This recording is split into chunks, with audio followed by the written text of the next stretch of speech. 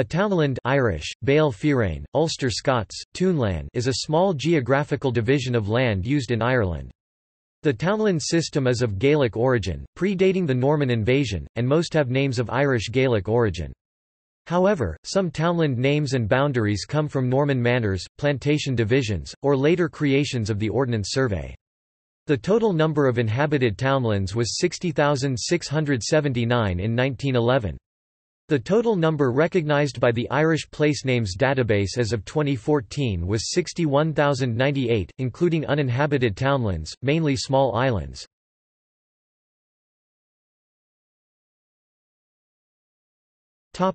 Background In Ireland a townland is generally the smallest administrative division of land, though a few large townlands are further divided into hundreds. The concept of townlands is based on the Gaelic system of land division, and the first official evidence of the existence of this Gaelic land division system can be found in church records from before the 12th century. It was in the 1600s that they began to be mapped and defined by the English administration for the purpose of confiscating land and apportioning it to investors or planters from Britain.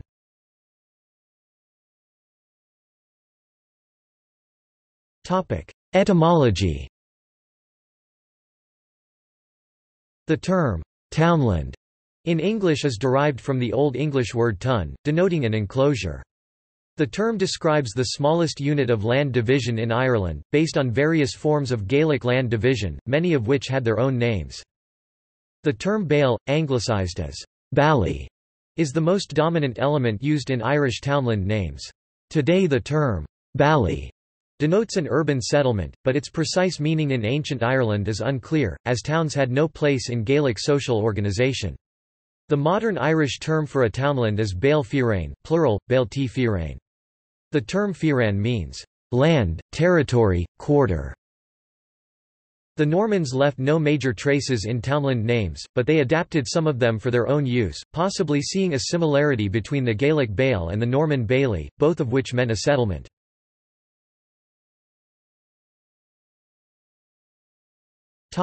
Historical land divisions and etymology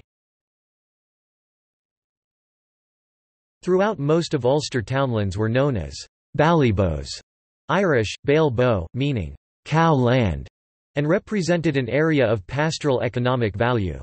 In County Cavan similar units were called poles, and in counties Fermanagh and Monaghan they were known as tates or taths. These names appear to be of English origin, but had become naturalised long before 1600. In modern townland names the prefix pole is widely found throughout Western Ireland, its accepted meaning being hole or hollow. In County Cavan, which contains over half of all townlands in Ulster with the prefix pole, some should probably be better translated as the pole of Modern townlands with the prefix tat are confined almost exclusively to the Diocese of Clogher, which covers counties Fermanagh and Monaghan, and the barony of Clogher in County Tyrone, and cannot be confused with any other Irish word. In County Tyrone the following hierarchy of land divisions was used. Ballybeda, Irish, Baal Beatai, meaning, victualler's place. Ballybo, Sesia, Irish, Seucuid, meaning sixth part of a quarter. Gort. And quarter, Irish, sathru. In County Fermanagh the divisions were Ballybetta, quarter, and Tate. Further subdivisions in Fermanagh appear to be related to liquid or grain measures such as gallons, pottles, and pints. In Ulster the Ballybetta was the territorial unit controlled by an Irish sept, typically containing around 16 townlands. Fragmentation of ballybedas resulted in units consisting of 4, 8 and 12 townlands. One of these fragmented units, the quarter, representing a quarter of a ballybeda, was the universal land denomination recorded in the Survey of County Donegal conducted in 1608. In the early 17th century 20% of the total area of western Ulster was under the control of the Church. These termon Lands consisted likewise of ballybedas and ballyboes, but were held by erenaghs instead of sept leaders.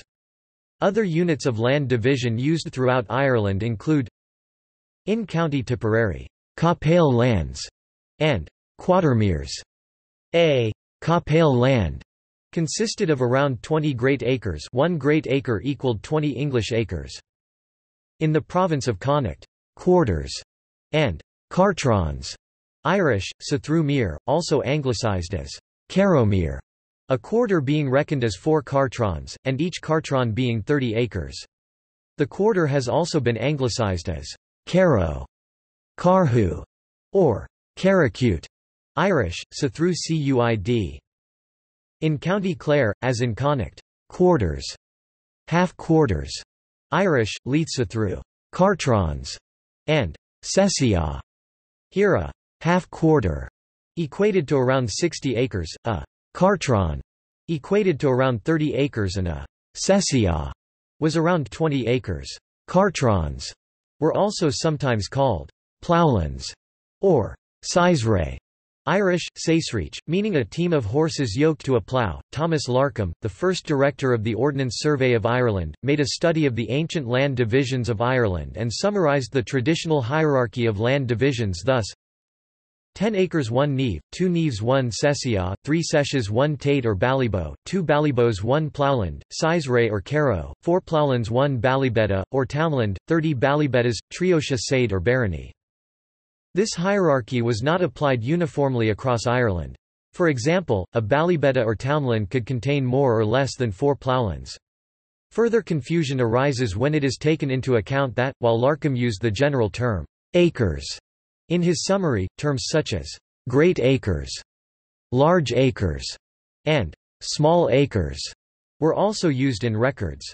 Writing in 1846, Larcom remarked that the large and small acres had no fixed ratio between them, and that there were various other kinds of acre in use in Ireland, including the Irish acre, the English acre, the Cunningham acre, the plantation acre and the statute acre.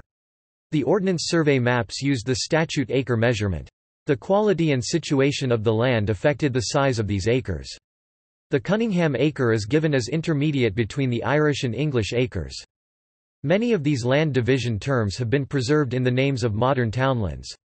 For example, the term cartron in both its English and Irish forms has been preserved in the townland names of Caromere, Cartron and Carovere, while the term Sessia Survives in the names Shisha, Shishodonal, Shishimore and Shesiv.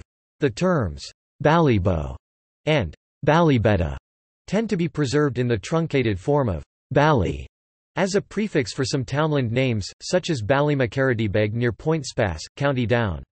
Less well-known land division terms may be found in other townland names such as Kugala Irish, Quij Ulad, the Ulster Fifth, Treenmana Irish, and Train the third middle and Dahamade Irish, and Daichumed, the tenth part.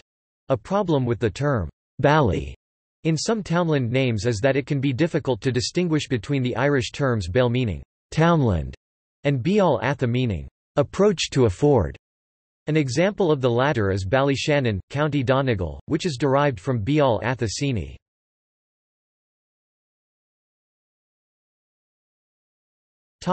Size and value The average area of a townland is about 325 acres, 1.32 square kilometers, 132 hectares, but they vary widely in size. William Reeves's 1861 survey states that the smallest was Old Church Yard, near Carrickmore, in the parish of Termonmagurk, County Tyrone, at 0.625 acres (0.253 hectares) and the largest, at 7,555 acres (30.57 square kilometers, 11.805 square miles), was and is Fionan, also called Finon, in the parish of Killinan, County Galway. In fact, the townland of Clonskeagh in the barony of Uppercross abutting the main Clonskeagh townland in the barony of Dublin was only 0.3 acres 0.12 hectares although the area is now urbanised, so that the townlands are unused and their boundaries are uncertain. The Ballybow, a townland unit used in Ulster, was described in 1608 as containing 60 acres of arable land, meadow, and pasture. However, this was misleading, as the size of townlands under the Gaelic system varied depending upon their quality, situation and economic potential. This economic potential varied from the extent of land required to graze cattle to the land required to support several families. The highest density of townland units recorded in Ulster in 1609 corresponds to the areas with the highest land valuations in the 1860s. It seems that many moorland areas were not divided into townlands until fairly recently. These areas were formerly shared as a common summer pasturage by the people of a whole parish or barony.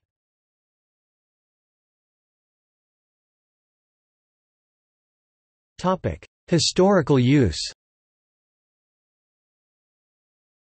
Until the 19th century most townlands were owned by single landlords and occupied by multiple tenants. The cess, used to fund roadworks and other local expenses, was charged at the same rate on each townland in a barony, regardless of its size and productive capacity. Thus, occupiers in a small or poor townland suffered in comparison to those of larger or more fertile townlands. This was reformed by Griffith's valuation.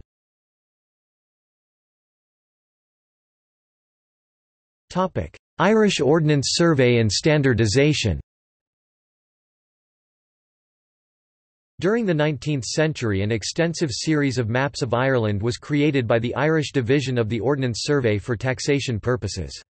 These maps both documented and standardised the boundaries of the more than 60,000 townlands in Ireland. The process often involved dividing or amalgamating existing townlands, and defining townland boundaries in areas such as mountain or bog that had previously been outside the townland system.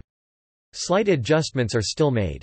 There were 60,679 in 1911, compared to 60,462 townlands in 1901.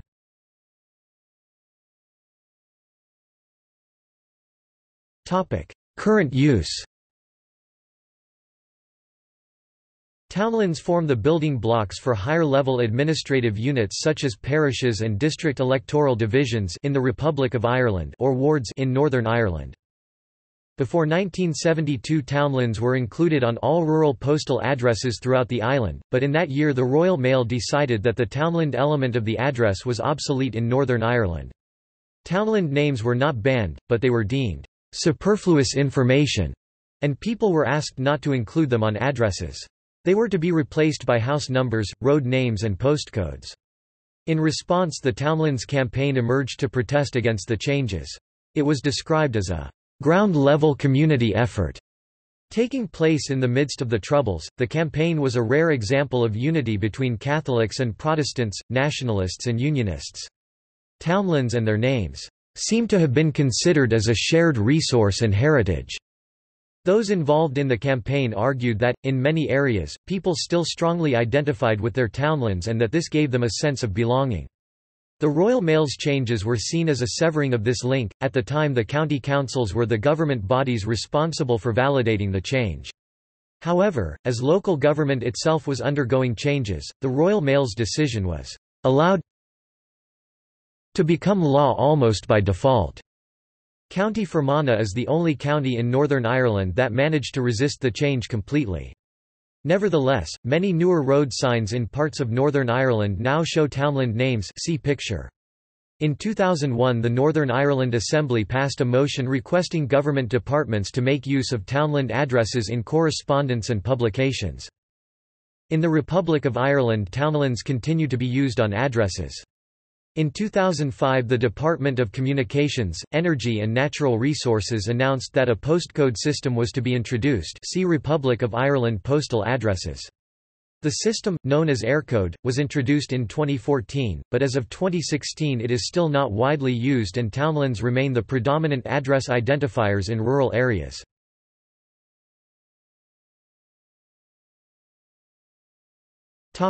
See also Lists of townlands in Ireland by county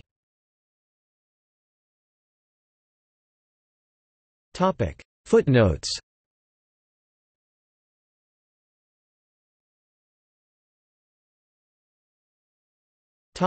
Sources Barry, Terry, ed. The 12th of November 2012. A History of Settlement in Ireland. Routledge. ISBN 9781134674633. Moore, K. 1999 2001. Celebrating Ulster's Townlands. Ulster Placename Society. Archived from the original on the 19th of October 2006. Reeves, W. The 22nd of April 1861. On the Townland Distribution of Ireland. Proceedings of the Royal Irish Academy, 7 to 473-490. JSTOR 20489906. Robinson, Philip 2000. The Plantation of Ulster. Ulster Historical Foundation. ISBN 978-1-903688-00-7. General Alphabetical Index to the Townlands and Towns, Parishes and Baronies of Ireland, 1861. Census greater than 1861 greater than Ireland. HISTPOP, org. p. 258. Retrieved 20 May 2014.